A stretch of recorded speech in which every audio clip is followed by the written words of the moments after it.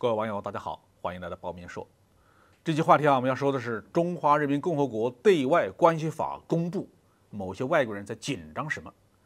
二零二三年的七月一号，《中华人民共和国对外关系法》正式生效。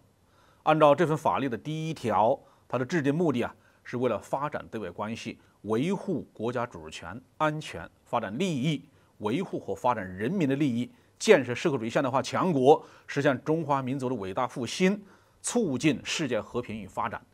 推动构建人类命运的共同体。但是，就这样的一份中国颁布的法律，却引起了一些外国人的吐槽。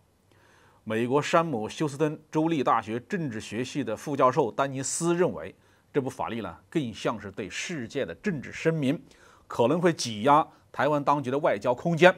因为一些国家可能不得不三思而后行，决定是否要与台湾当局建立关系。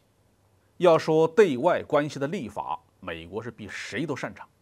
从美国政府到美国国会，最善于用国内法凌驾于国际法之上。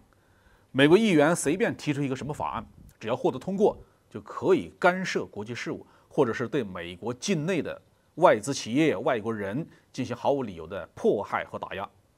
美国立法机构甚至会强迫其他的国家执行美国的法律，也就是所谓的长臂管辖。正是因为美国的这种倒行逆施啊，其他国家在立法的时候也就不得不采取一些相应的措施来保护自己的利益了。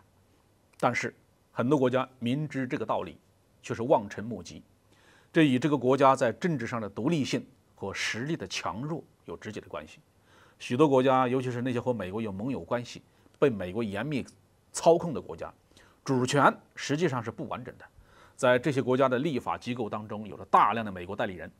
哪怕是一些对于本国家、本民族的根本利益有重大影响的法案，最终也只能按照美国人的意志来制定和通过。乌克兰战争爆发以后呢，对俄罗斯政府实施的种种制裁和禁运的法令就是明显的例子。欧洲国家甚至没有能力动用本国的法律来维护本国的利益。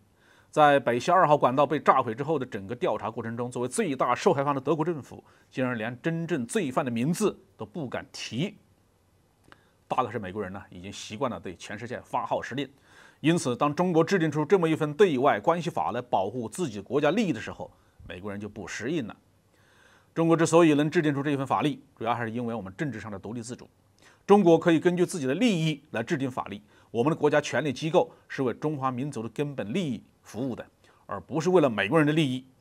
在对外斗争矛盾尖锐、进入特殊时期之后。我们的立法机构也能够以比较高的效率完成相关法律法规的起草、审查、修改和通过，并且迅速的进入执行阶段，这在美国的其他盟国身上都是看不到的。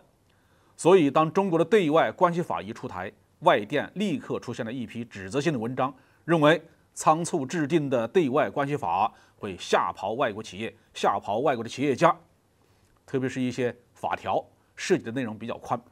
比如说第三十三条规定。对于违反国际法和国际关系基本准则、危害中华人民共和国的主权、安全、发展利益的行为，中华人民共和国有权采取相应的反制和限制措施。第三十八条规定，中华人民共和国依法保护在中国境内的外国人和外国组织的合法权利和利益，国家有权准许或者是拒绝外国人入境、停留、拘留，依法对外国组织在境内的活动进行管理。在中国境内的外国人和外国组织应当遵守中国的法律，不得危害中国国家安全、损害社会公共利益、破坏社会公共秩序。这些法条正是反华势力们所最不愿意看到、最害怕的内容。实际上，来中国经营的外资企业可以简单的分成两类：一种是老老实实来挣钱的，一种是情报和颠覆机构的外围。对于前一种企业呢，对外关系法对他们可能会有一些影响，比如说。不能根据美国的单方面要求对中国进行制裁禁运，不能在中国收集不该收集的数据和信息，也不能把不该卖的东西卖到外国去。但总的来说，这些企业的经营不会受到什么大的影响。对外关系法的实施，还让他们有了充足的理由拒绝美国情报机关的不合理要求。但是对那些专门来捣乱的外国企业，情况就不一样了。对外关系法那就是套在他们头上的紧箍咒。这将对他们危害中国权益的不法行为产生震慑作用。好，这句话题我们就说到这里。